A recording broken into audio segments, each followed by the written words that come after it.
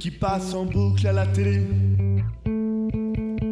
Toutes ces images de guerre, de famine, de pollution de l'air.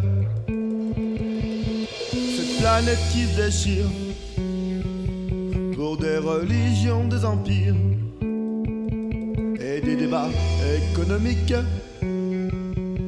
aux actes dramatiques.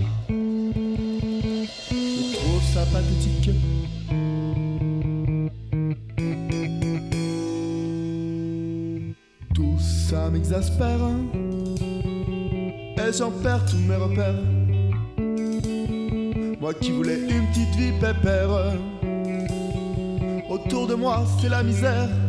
Et je me sens privilégié.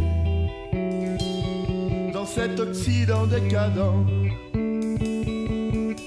Je suis bouleversé par ce monde d'ignorants.